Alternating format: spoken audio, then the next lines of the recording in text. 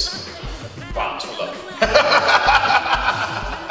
love Pop. It was definitely a pleasure working with Eagle Nebula. I'm definitely a fan of her voice. You know what I'm saying? It's a message in her voice. She's a talented individual, you know what I'm saying? She does it all. I feel like as a producer, I was able to express another side. You know, we all have different sides of ourselves, so I was able to channel into the cosmic side.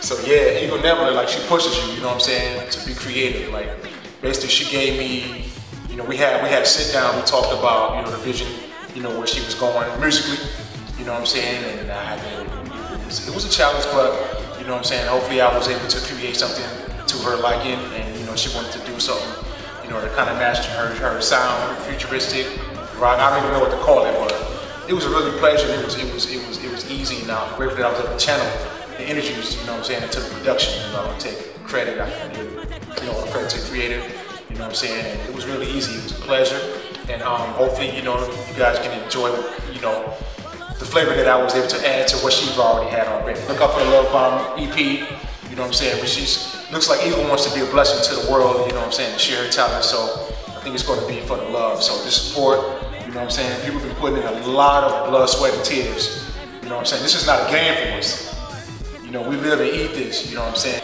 we're trying to create a package, we're trying to create some good energies, you know what I'm saying, everybody got their own story to tell, you know what I'm saying, Nev's has a story, you know what I'm saying, and I'm grateful to be a part of that story, and hopefully, you know, you guys can enjoy it, you know, what, what she's trying to share.